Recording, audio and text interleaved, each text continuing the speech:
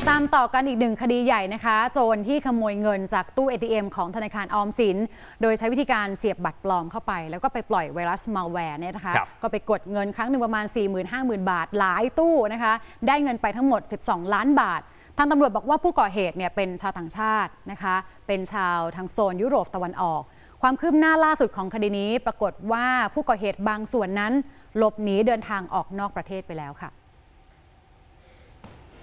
พลตำรวจเอกปัญญามาเม่นที่ปรึกษาสัญญาบัตร10 ระบุนะคะว่าชาวยุโรปตะวันออกเป็นผู้ก่อเหตุโจรกรรมเงินกว่า 12 ล้านบาท จากตู้ ATM ของธนาคารออมสินในพื้นที่ 6 จังหวัดค่ะ โดยผู้ก่อเหตุจะใช้บัตรปลอมที่ผลิตในประเทศยูเครน เสียบเข้าไปในตู้ก่อนจะควบคุมด้วยไวรัสมัลแวร์ทำให้เงินไหลออกมาจากตู้นะคะ ซึ่งมัลแวร์ก็จะถูกส่งไปยังตู้ ATM ที่ใช้เป็นตู้ควบคุม 3 ตู้ในจังหวัดภูเก็ต ก่อนกระจายไปในอีก 21 ตู้ใน 6 จังหวัดค่ะ นอกจากนี้ก็พบว่าผู้ก่อเหตุ 5 คนที่ก่อเหตุในประเทศไต้หวัน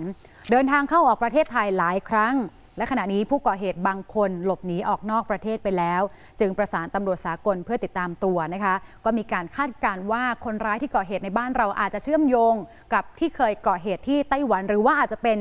กลุ่มเดียวกันด้วยซ้ำนะคะขณะที่ตอนนี้ก็มีการประสานตำรวจสากลเพื่อติดตามตัว ส่วนจะมีคนไทยเกี่ยวข้องหรือไม่นั้นอยู่ระหว่างการตรวจสอบค่ะ ด้านพันเอกเศรษฐพงศ์มลิสุวรรณประธานคณะกรรมการกิจการโทรคมนาคม หรือกทค และรองประธานกสทช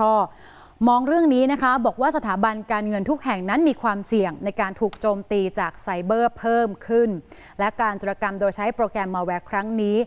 ไม่ได้เหนือความคาดหมาย เพราะประเทศไทยยังขาดหน่วยงานกลางที่จะตอบโต้สถานการณ์แบบทันท่วงที